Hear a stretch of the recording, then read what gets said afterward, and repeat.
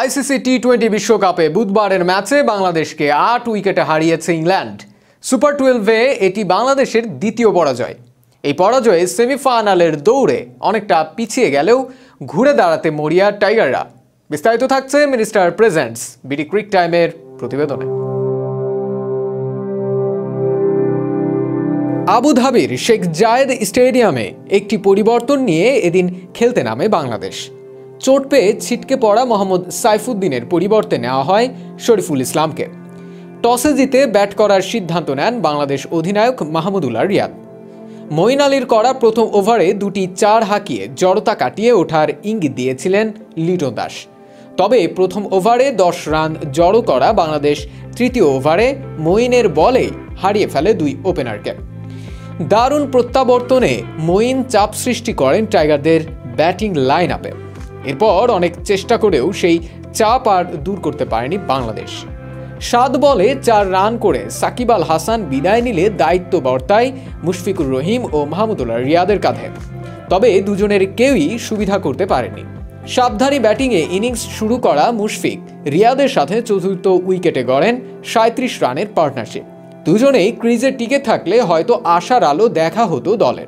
তবে reverse sweep করতে গিয়ে বল লাগে তার প্যাডে। আম্পায়ার আউটের বদলে চারের সংকেত দিলেও রিভিউ নিয়ে সাফল্য পেয়ে মুন্সিয়ানা দেখিয়েছেন ইংলিশ অধিনায়ক ইয়ান মর্গান। বিদায়ের আগে তিরিশ বলে উনত্রিশ রান করেন মুশফিক, তিনটি চারের মাধ্যমে। এরপর ছিল ব্যাটসম্যানদের ভুল বোঝাবুঝির চর্চা। মাহমুদুল্লাহ রিয়াদের সাথে বোঝাপড়া ভালো না হওয়ায় আফিফ হোসেন ধ্রুব ক্রিজে এসেই রান আউটের শিকার হয়ে সাজঘরের পথ ধরেন। চাপের মুখে পরের দুই বলেও ইংলিশদের রান আউটের সুযোগ করে দিয়েছিল বাংলাদেশ। রিয়াদ লড়াই করেও থিতু হতে পারেননি। চব্বিশ বল খেলে রান করেছেন উনিশ। শেখ মেহেদি হাসান বিদায় নেন দশ বলে এগারো রান করে। সাইফুদ্দিনের অনুপস্থিতিতে নয় নম্বরে নামানো হয় নাসুম আহমেদকে। ব্যাটারদের ব্যর্থতার দিনে তিনি যা আলো ছড়িয়েছেন।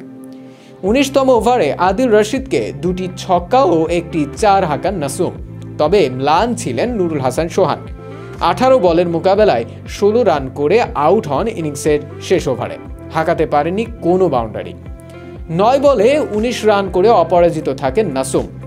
ইনিংসের শেষ বলে বোল্ড হন মুস্তাফিজুর রহমান।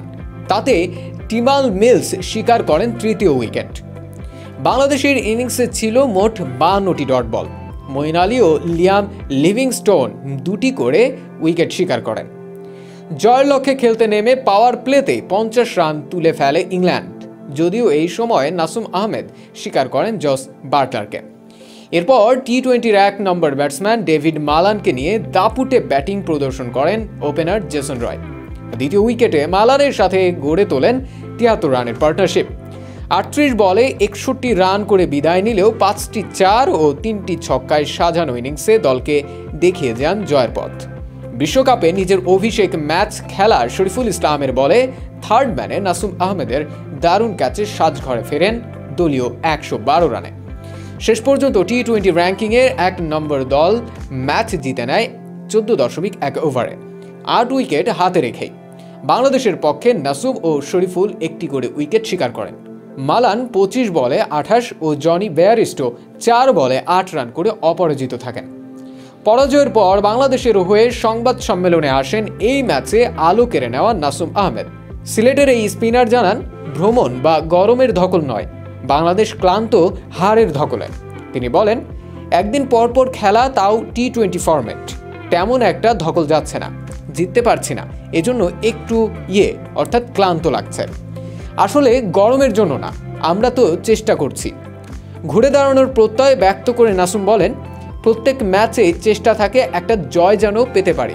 একটা ব্যাটার বা বোলার পারফর্ম করলে জেতার সুযোগ থাকে। একটা কথা আমি বারবার বলছি, আমরা চেষ্টা করছি, আমাদের দ্বারা হচ্ছে না। আরও তিনটা ম্যাচ আছে। একটা ম্যাচ ক্লিক করলে বাকি দুটি ম্যাচও ক্লিক করতে পারব। একটা ম্যাচ জিতে পরের ম্যাচের আত্মবিশ্বাস পাওয়া যায়। বাংলাদেশে যে ম্যাচগুলো জিতেছিলাম, আত্মবিশ্বাস ভালো ছিল। Asijul Hakim Ashik, BD cric time.